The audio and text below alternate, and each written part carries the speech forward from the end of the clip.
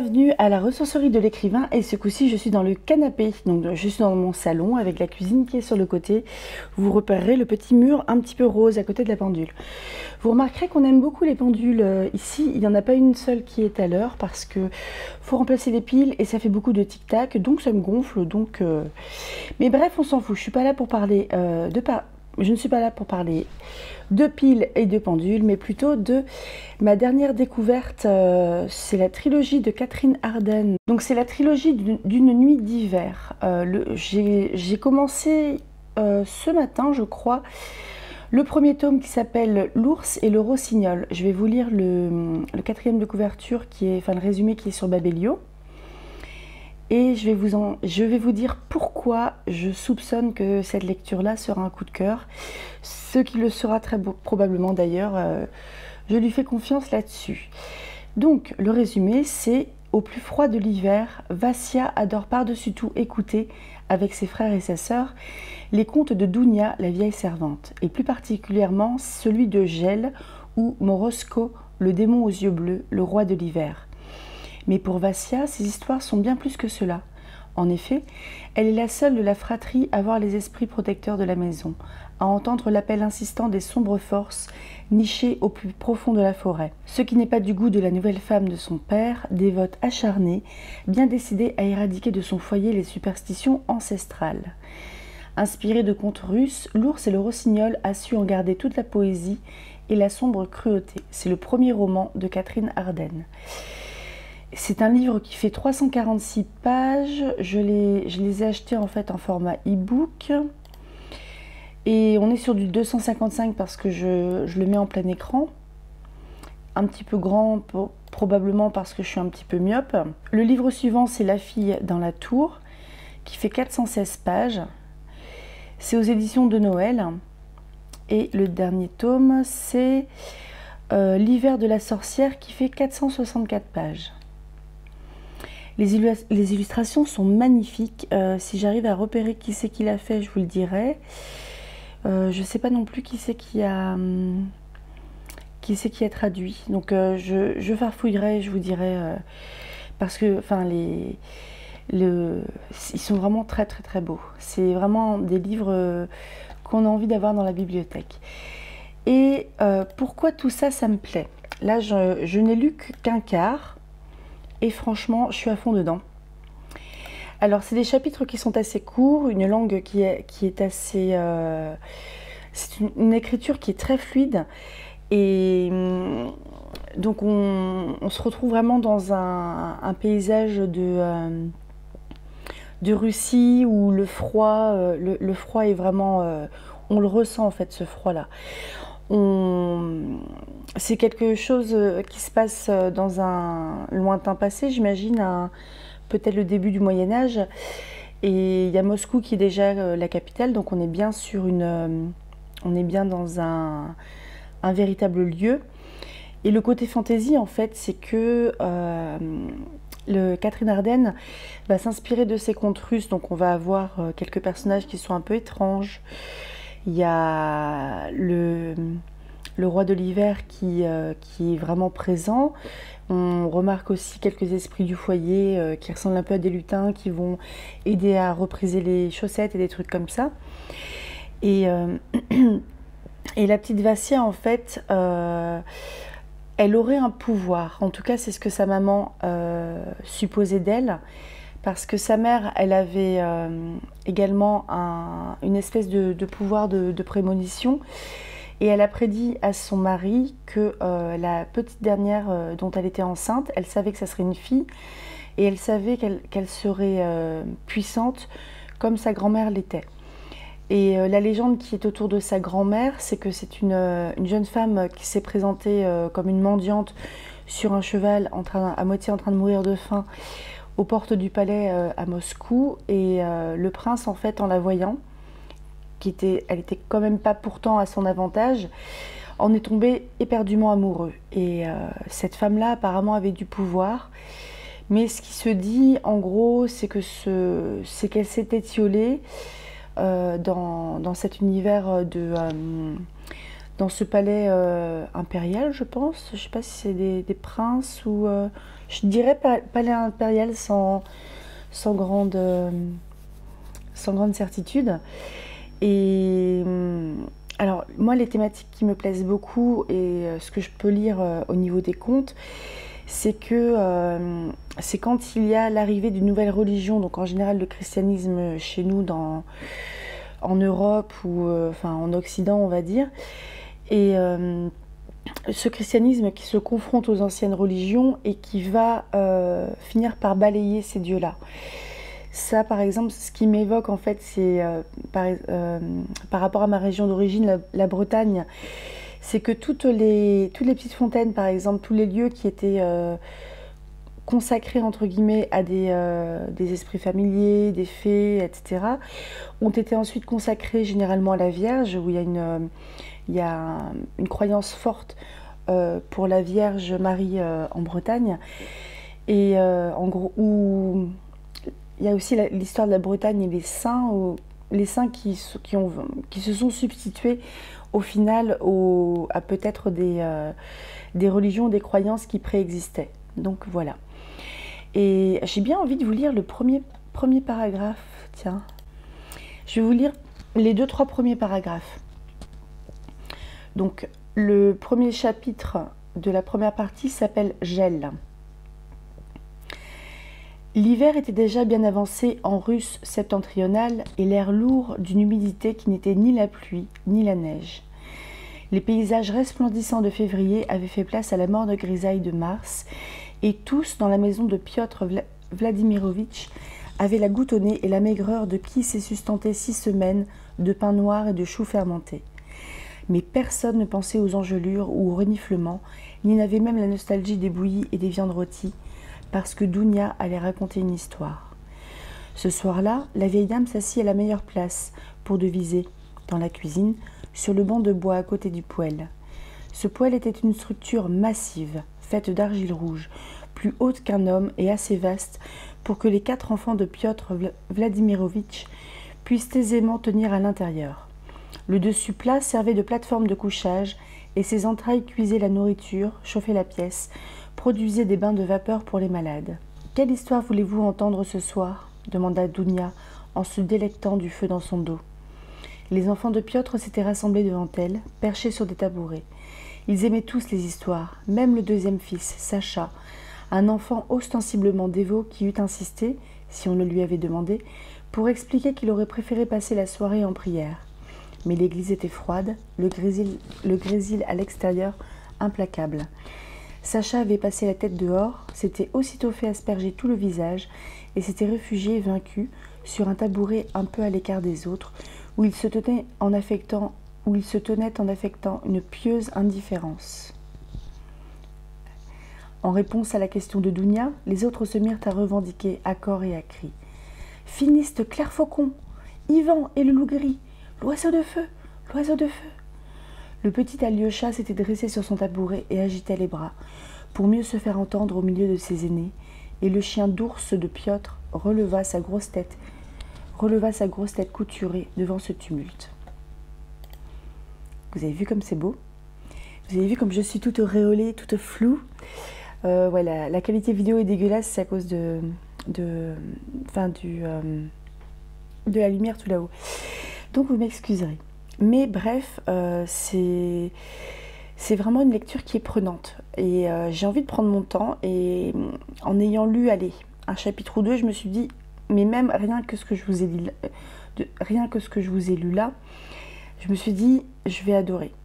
Et euh, j'ai envie de, faire aussi de temps en temps des vlogs lecture comme ça, où je vais choisir un livre, ou bah là, ce sera une série de trois livres pour, euh, pour faire un petit peu des, points d'étape euh, au cours de la lecture et vous dire euh, pas forcément ce qui se passe pour pas vous dévoiler l'intrigue, mais comment, comment l'univers s'installe, comment les personnages commencent un petit peu à me rentrer dans la peau, entre guillemets. et vraiment, vraiment, là, je, je, kiffe ma lecture. Mais, mais je, je la déguste, hein. je ne la dévore pas, je la déguste. Je, je l'apprécie énormément.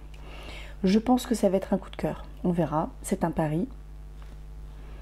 Donc bienvenue dans ce tout premier vlog lecture et on se retrouvera peut-être demain quand il fera jour et que j'aurai lu un autre quart.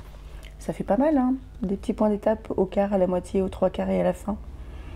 Comme ça, ça va en faire plusieurs. Je pense qu'on va être parti sur une heure de vidéo. A tout de suite Rebonjour euh, Donc on est dans la suite du vlog lecture sur l'ours et le rossignol, le tome 1 de la trilogie d'une nuit d'hiver de Catherine Arden. Euh, je suis arrivée à peu près à la moitié, là je suis à 49% il me semble, donc on va dire que c'est la moitié, hein, on va pas chipoter. Et en fait on tombe en plein dans les thématiques qui vont m'intéresser. Euh, on a la... Hum, la religion chrétienne orthodoxe, du coup, qui commence à prendre le pas sur les, les esprits, les roussalka, roussalki, je crois qu'on dit au pluriel, les domovoy. Euh, donc je, je dis les comme ça, mais euh, je ne connais pas le singulier et le pluriel, donc euh, ne m'en voulez pas si je fais des erreurs. Et il y a un petit chat très malheureux. Et ça, c'est des thématiques qui me touchaient quand je, du temps où je lisais, euh, quand j'étais plus jeune, euh, des contes bretons où, euh, du coup, comme je vous l'avais dit dans le précédent, le petit précédent petit bout de vlog, que les, fontaines qui étaient consacrées à un esprit de la forêt, un lutin, à quelque chose, ont été ensuite consacrées à essentiellement la Vierge Marie ou à un saint local. Et, et en fait, là, on est un petit peu là-dedans.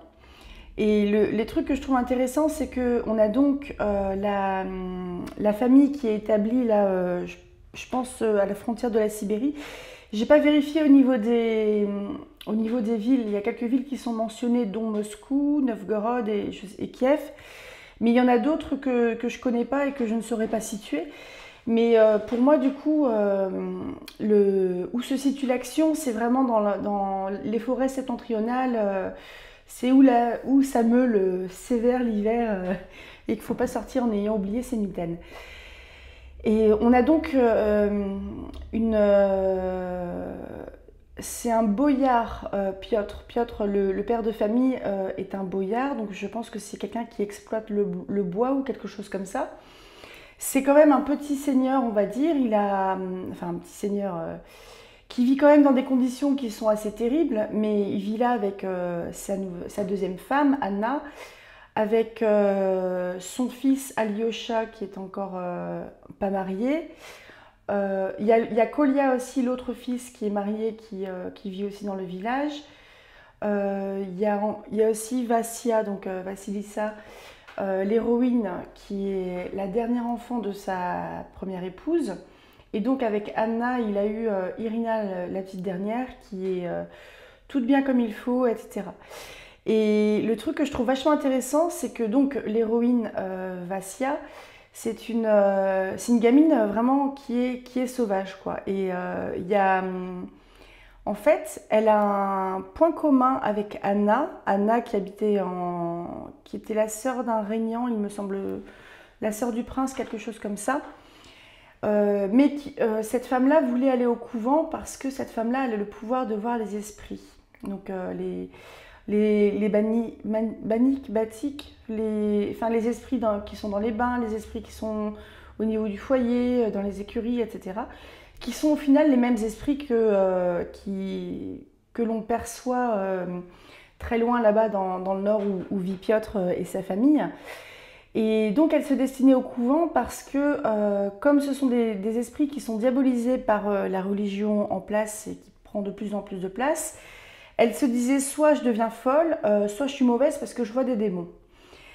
Et donc bah, pas de bol parce qu'elle n'était pas trop trop d'accord. Elle, s'est retrouvée mariée avec Piotr, qui est quand même quelqu'un de gentil, qui, qui, la, qui la prend, qui l'accepte comme elle est. Et euh, sauf que ça communique tellement pas avec Vassia, euh, parce que Vassia, en fait, on, la laisse faire ce qu'elle veut, parce que de toute manière, elle n'écoute pas. Et Vassia voit les mêmes esprits. Elle voit le domovoy, elle voit l'esprit euh, dans, le, dans les bains, dans le, dans le foyer, dans les écuries, dans la forêt, etc.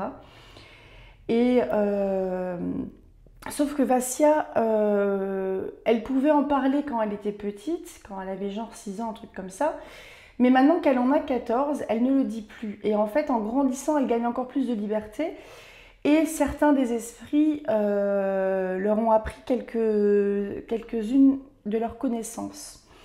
Je vous en dis pas plus. Euh, elle a cette espèce d'innocence d'enfant et de...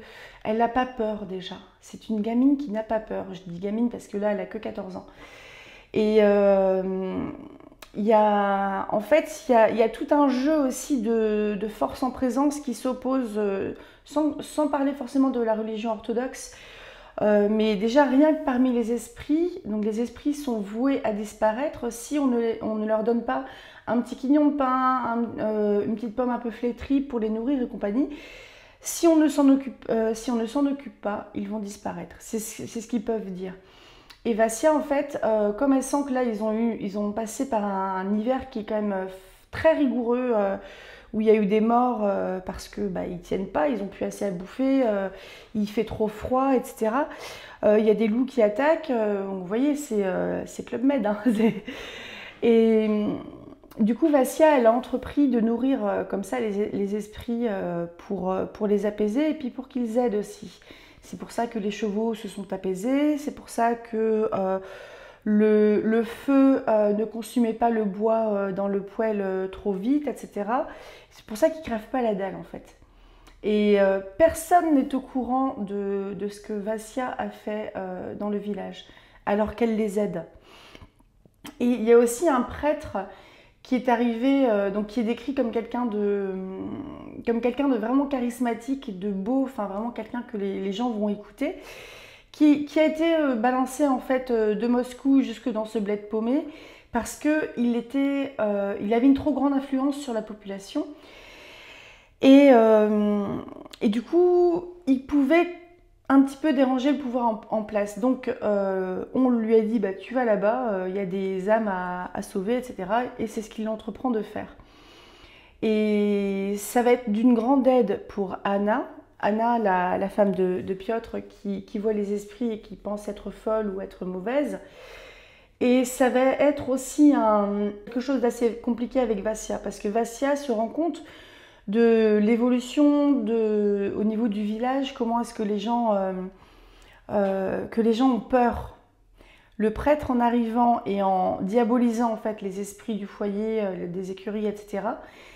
Il a instillé de la peur chez les gens qui se sont du coup, bah, pour soigner un peu leur peur, leur peur, tournés vers la foi. Et c'est pour ça qu'ils ont complètement négligé les esprits. Et ça fait vraiment plein de force en présence qui, euh, qui s'opposent. Et en plus de ça, il y a aussi... Euh, j'ai l'impression qu'il y a un truc qui va bouger du côté des esprits. Parce qu'il y a la Roussalka, il y a le Domovoy, etc. Il y a Gel, euh, le roi de l'hiver, mais il y a l'ours. Et l'ours, l'ours et le rossignol. Donc l'ours, a priori, c'est le frère de Gel et c'est pas bon du tout qu'il se, se réveille. Pas bon du tout. Parce que s'il se réveille, ça veut dire qu'il va y avoir beaucoup de morts. Et c'est ce que prédisent entre guillemets les esprits à Vassia.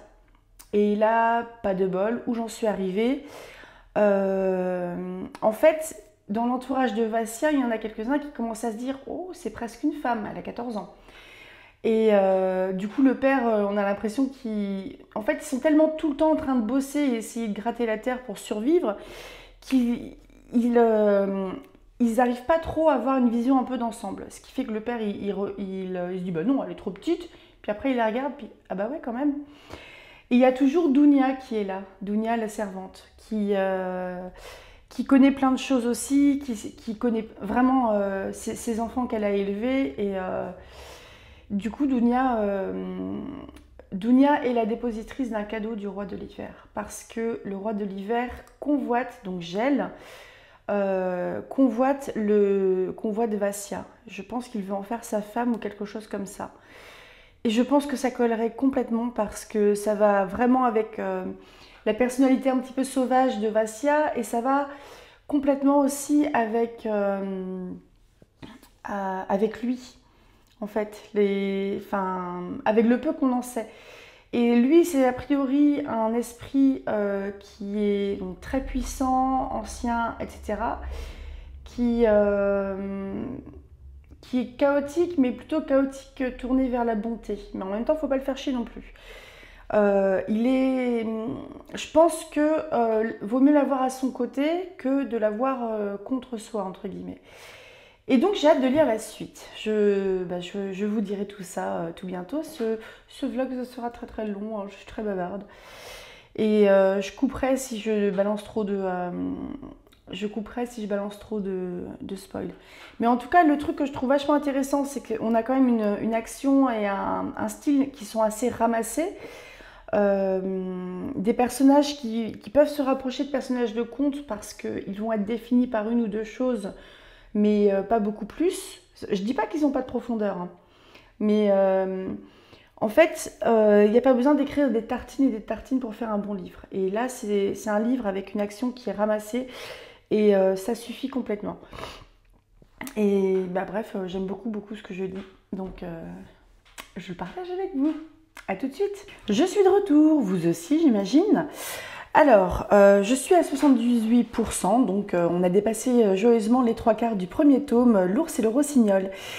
Et ça prend un virage un peu horrifique quand même, avec des créatures qui, qui relèvent, euh, enfin qui sont bien plus inquiétantes euh, qu'un petit esprit familier qui réside dans les bains euh, ou dans le foyer du poêle. Et là, ça commence sérieusement à craindre du boudin. Il y a en plus une espèce de petite prophétie en fait que les que les esprits que les esprits familiers, les esprits de la forêt avaient pu dire chacun euh, séparément des autres, en gros, à Vassilia, Vas, Vassilissa, et euh, à Vassia, Vassia.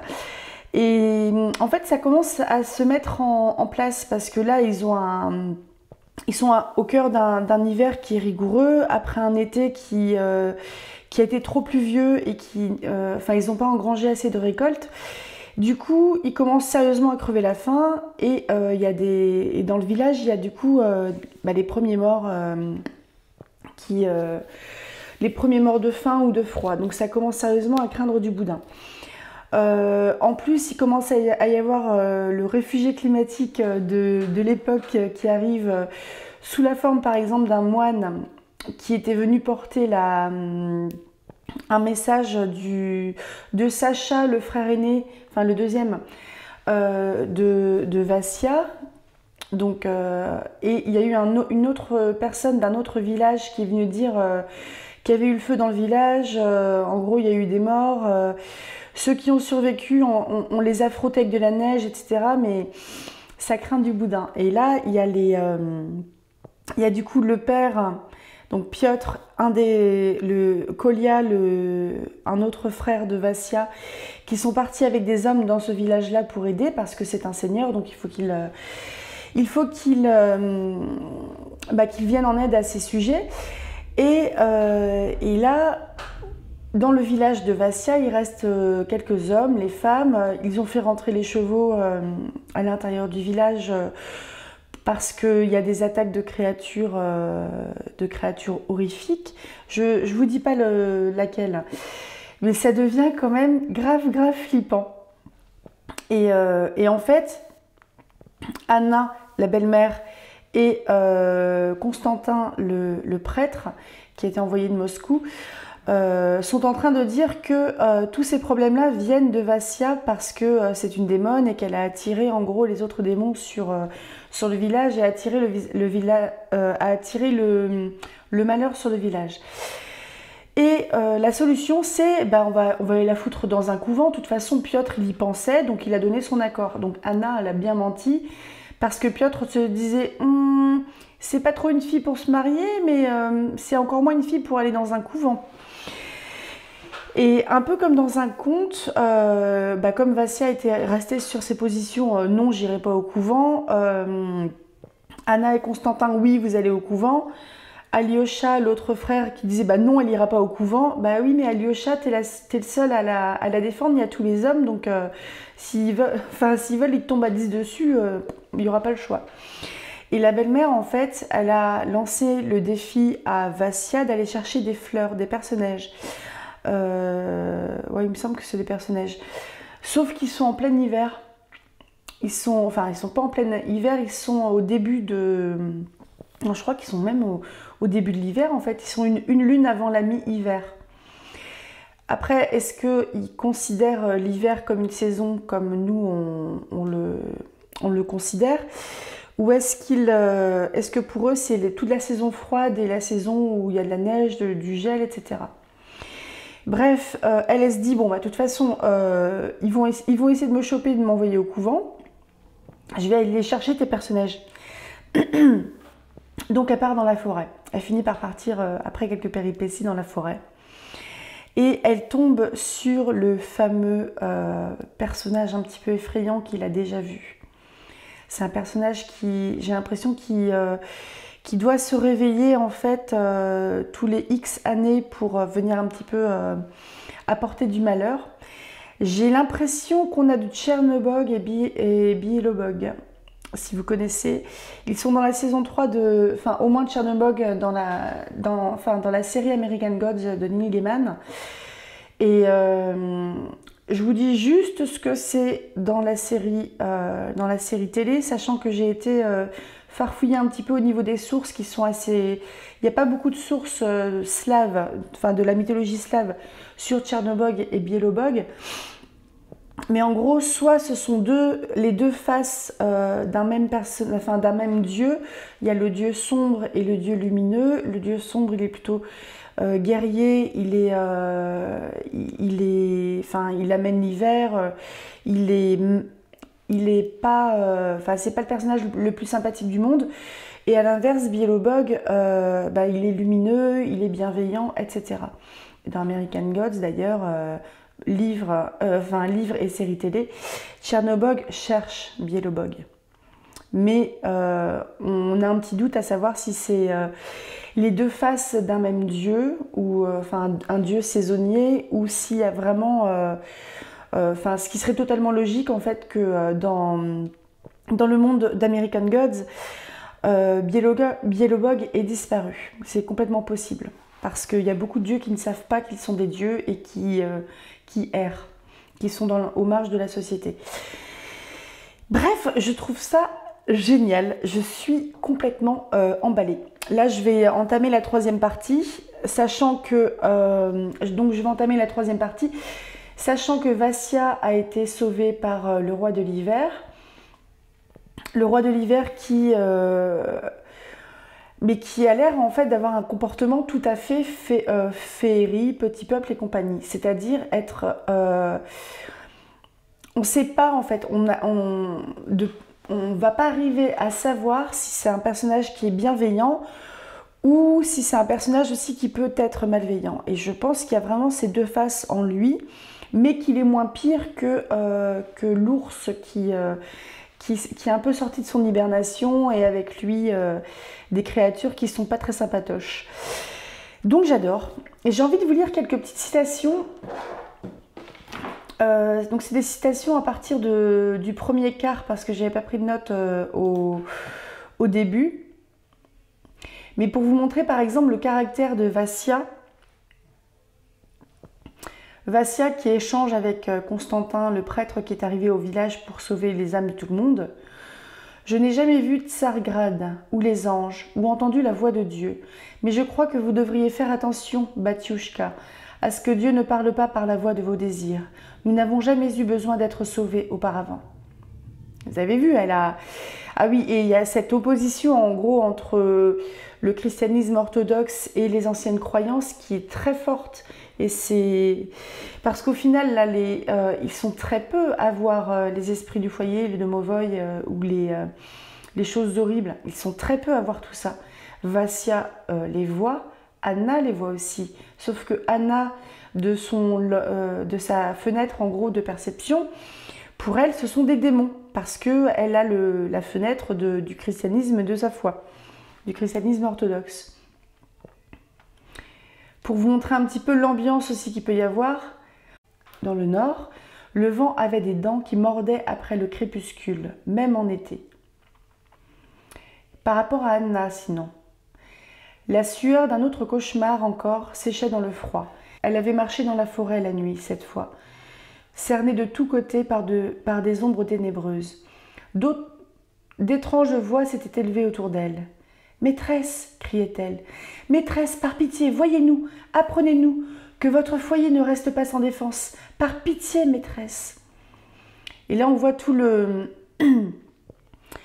tout le côté euh, bonté et puis désespoir aussi de, des esprits familiers qui s'occupent des écuries, qui s'occupent du foyer, qui, euh, qui, sont dans les bains et compagnie, et qui ont besoin en fait euh, du regard de la maîtresse de maison et de ceux qui habitent dans cette maison-là pour qu'ils sacrifient un petit peu de pain, un peu de fruits, un peu de pommes, un peu de vin, du sang aussi, pourquoi pas, parce que c'est fort. Ils ont besoin de l'humain pour exister et ils ont besoin de l'humain pour aider les humains. Sauf que, bah, il y en a, les rites ne se font plus. Une petite discussion entre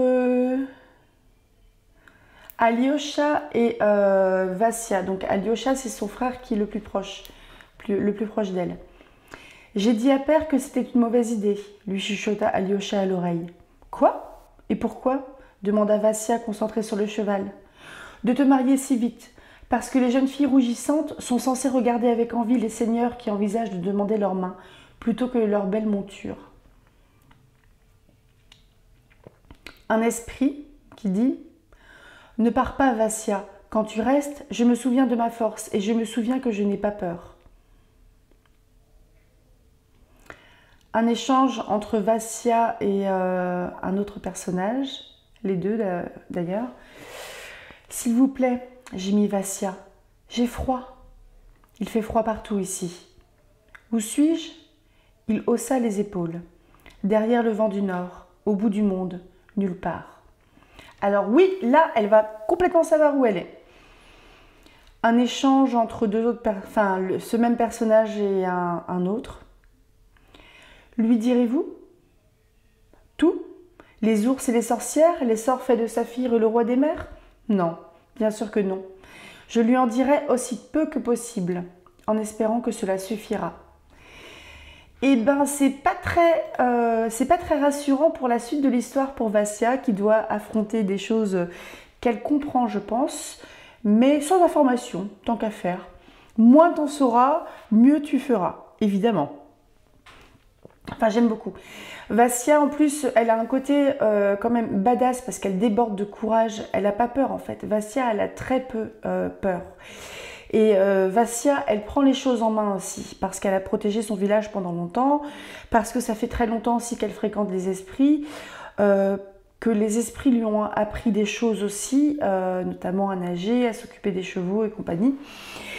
Et euh, si vous voulez, elle est armée, entre guillemets. Et euh, en cela, elle est unique. Parce que euh, les autres personnages autour d'elle, sa famille, ceux qui voient les esprits, ceux qui y croient ou bah, ceux qui n'y croient pas et qui ne les voient pas, encore moins du coup, les autres ne sont pas capables de la moitié de ce qu'elle fait.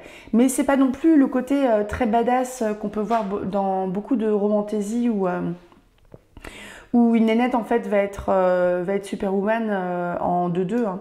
C'est pas du tout ça, c'est que euh, Vassia, elle est à la fois, tout comme toutes les autres femmes, hein, elle, a, ses faiblesses évidemment, elle est affamée aussi, elle est pas très jolie, on n'arrête pas de lui dire qu'elle est pas belle, mais en même temps elle attire le regard des hommes et elle attire le regard des d'hommes qui, aussi, ne sont pas censés être attirés par elle.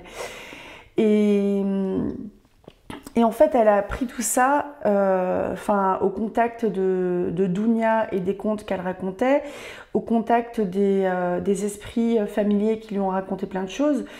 Et euh, en fait, elle est pleine de connaissances pour affronter tout, ce qui va lui tomber sur le coin de la tronche à la troisième partie, et ce qui va pas tarder. Je pense que je vais tout me bouffer là ce soir. Euh, on va se retrouver tout à l'heure. Parce que le tout tout tout premier euh, vlog, c'était hier. Donc là, je... le livre est pas très gros et euh, c'est des phrases assez courtes. Et j'aime beaucoup le style d'écriture. Là, vous avez vu, c'est quand même vachement joli. C'est très efficace, je trouve. je pense que Catherine Ardenne, elle, vient de de me rappeler ma, ma collectionnite aiguë, ce qui fait que je vais suivre ce qu'elle va faire euh, par la suite parce qu'il me semble qu'elle a juste, euh, enfin juste, Elle a, pour le moment, elle a à son actif cette trilogie-là et l'intégrale de la trilogie de, de la, d'une nuit d'hiver. Donc, je vais la suivre, certainement. On va voir. J'espère que, que cet enthousiasme-là va continuer tout au long de, tout au long de l'histoire. Et puis, ben, on, se retrouve, on se retrouve dans pas longtemps. Parce que là, il me reste, je suis à la page 200 à la louche sur... Ouais, ça fait 250 à peu près. Mais c'était... Euh, c'était un peu plus important en poche, je crois que c'était 350, un truc comme ça. Et les livres suivants sont un peu plus épais, ça va aller jusqu'à 460, un truc comme ça. Donc voilà, à tout à l'heure. Salut, salut Et donc la dernière partie du vlog sur l'ours et le rossignol de Catherine Ardenne. Je viens de le finir là il y a quelques minutes. Je pense qu'on frôle le coup de cœur. Je parle pas trop fort là parce que euh, mon compagnon dort dans la chambre au bout là-bas derrière, derrière mon épaule. Euh, donc j'ai euh, vraiment vraiment apprécié. Et dans la dernière partie, je trouve que ça prend une ampleur. En fait, le roman est divisé en troisième partie et euh, le quatrième, euh, ce quatrième petit bout de vlog euh, est sur la, dernière partie au final, sur la troisième partie. Et là, on a un petit peu, on passe de l'horrifique à quelque chose de beaucoup plus fantaisie et toujours, en fait, les forces en présence qui qui se battent. Donc, que ce soit le roi de l'hiver qui est bon mais pas tant que ça et qui est l'ennemi de son frère l'ours euh, c'est c'est parti un peu dans ça a pris une ampleur dingue et ça a fini en, grosse bataille. Et euh, purée Vassia elle lâche rien. J'adore ce personnage. Elle lâche rien euh, tout en sachant pas euh, si ça va marcher ou pas. J'ai l'impression en plus qu'elle se lançait en fait dans des choses tout en ne, tout en ne sachant pas en fait si ça allait marcher parce que elle, elle, euh, elle touche à un monde dont elle ne connaît pas les règles. Là, ça a fonctionné du coup, mais ça aurait pu ne pas fonctionner aussi. Et euh, j'ai l'impression qu'il y a un mystère aussi sur ses origines. Parce que. Euh, enfin, il y a quelques allusions à ce sujet-là. Et. Hum, ça finit bien et pas bien à la fois, mais euh, je trouve que c'est une fin qui est vraiment satisfaisante. Enfin, en gros, c'est pas une, une c'est quelque chose d'un petit peu mitigé et euh, j'ai l'impression qu'on va se diriger sur une romance entre le roi de l'hiver et Vassia dans les livres suivants. Mais là, euh, une partie de la situation étant résolue à la fin du premier livre, je me demande ce qui, ce qui va y avoir dans les, dans les livres suivants. J'ai envie de lire le, le premier. Euh, attendez. Lire le synopsis, le. Non. Le pitch en fait du, euh, du livre suivant qui est La fille dans la tour. Là, je viens juste de l'ouvrir sur euh, mon, mon l'application ePub, mais je vais pas enchaîner tout de suite. Ah, je me suis plantée. Je vais pas enchaîner tout de suite euh, parce que euh, j'ai pas envie d'enchaîner en fait. Je vous lis le synopsis de La fille de la tour. La fille dans la tour, pardon. La cour du grand prince à Moscou est gangrénée par les luttes de pouvoir. Mais pendant ce temps, dans les campagnes, des bandits inconnus et invisibles incendient les villages, tuent les paysans et kidnappent les fillettes. Le prince Dimitri Ivanovitch n'a donc d'autre choix que de partir à leur recherche s'il ne veut pas que son peuple finisse par se rebeller. En chemin, sa troupe croise un mystérieux jeune homme chevauchant un cheval digne d'un empereur. Le seul à reconnaître le garçon est un prêtre, Sacha, et il ne peut révéler ce qu'il sait. Le cavalier n'est autre que sa plus jeune sœur, qu'il a quittée des années plus tôt, alors qu'elle n'était encore, alors qu'elle n'était encore qu'une fillette, Vassia. Bon, j'ai l'impression en fait que ouais, là ça va un petit peu se promener dans, dans le tome suivant. Ils, sont bien notés hein, sur Babelio. 4,19 sur 5 sur le premier livre, 4,45 sur 5 sur le second et 4,54 sur 5 sur le troisième. Mais euh, J'ai pris quelques petites, quelques petites citations en essayant de ne pas me répéter. Voilà. Ça, ça doit être deux, citations de la, de la dernière partie, donc de la troisième partie. Je suis à peine plus qu'une ombre maintenant dans la maison des hommes. Autrefois, j'y étais l'hôte. Le, sommeil est cousin de la mort, murmura-t-il au-dessus de sa tête, et les deux m'appartiennent. Donc vous voyez, bon, là, c'est des citations du roi de l'hiver. Et euh, Vassia, elle est même si elle a des. Euh, elle a une espèce de, pouvoir parce qu'elle les voit, elle n'est pas la seule à les voir, mais euh, il y a quelque chose. Et j'avais l'impression aussi que Alyosha et Sacha aussi pouvaient les voir. Et il y avait Anna aussi, évidemment. Et donc, pour achever ce dernier vlog lecture, en fait, ça réunit vraiment tout, beaucoup de, Gabi, vu que je lui lance sa cerise. Ça réunit vraiment beaucoup euh, de, thématiques qui m'intéressent. Donc les contes, les, le, côté un peu petit peuple. Excusez-moi, ça, vous allez être... Euh, c'est plein de lumière. Et euh, voilà. Enfin, les contes, le petit peuple, le euh, une nouvelle religion qui vient balayer les anciennes, des croyances qui perdurent. Maintenant, il faut courir après. Des croyances qui perdurent, euh, des, rituels qui sont un petit peu oubliés, des forces qui sont, qui sont obscures. Et euh, je trouvais très intéressant le rôle du prêtre, parce que bah, il fait son rôle de prêtre, hein, c'est-à-dire de, bah, de promouvoir entre guillemets sa religion et de d'entretenir euh, un petit peu euh, une ferveur et c'est vraiment aussi des conditions de vie qui sont tellement difficiles euh, là il y avait une une ville enfin j'ai l'impression je voyais ça quand même loin de Moscou mais vraiment où, où ça caille quoi vraiment dans le nord. Mais les, ouais, les conditions de vie sont tellement difficiles avec enfin les gens qui crèvent de faim euh, l'hiver, euh, qui, enfin littéralement quoi, des gens qui meurent littéralement de faim, le froid qui devient un personnage, enfin l'hiver en lui-même, sans, sans, parler du roi de l'hiver qui est qui est, euh, qui est un ennemi en, quelque sorte et j'ai vraiment beaucoup aimé. Et je trouve qu'elle a un style particulier, Catherine Ardenne, là j'ai pu vous donner quelques citations comme ça, mais euh, pareil, euh, j'ai vraiment apprécié son style. C'est super élégant. Je pense que c'est pas un livre qui va convenir à tout le monde non plus.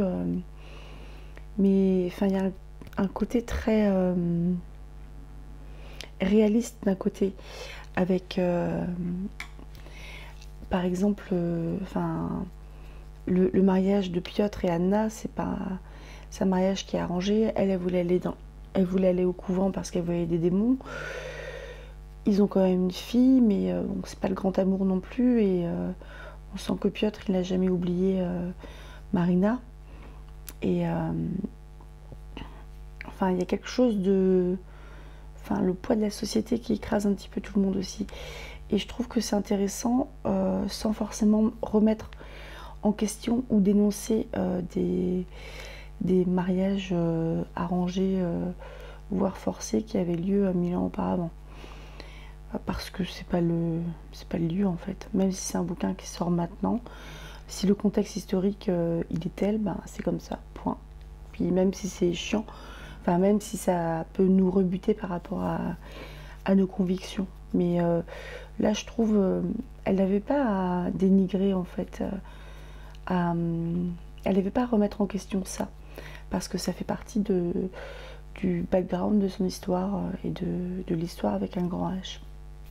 Je sais pas ce que vous en dites. Donc voilà.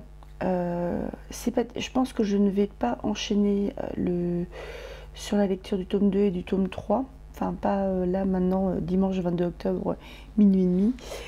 Je pense que je vais laisser passer quelques jours. Je vais peut-être lire autre chose entre temps.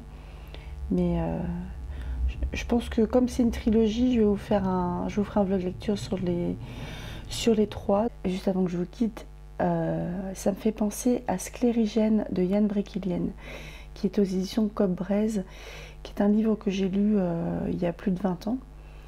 Euh, là, je ne sais pas où je l'ai foutu, comme d'habitude. Ma bibliothèque, elle est là. Je ne sais pas où je l'ai mis, je vous le montrerai. je vous mettrai un petit, un petit lien quelque chose si ça vous intéresse. Mais on était un petit peu là-dessus aussi. Et mais euh, dans un contexte breton, euh, peut-être euh, Bretagne des années 70, 80, un truc comme ça, dans la campagne. J'avais vraiment apprécié cette lecture-là aussi. Donc voilà, à tout bientôt. Lisez tout plein. Au revoir.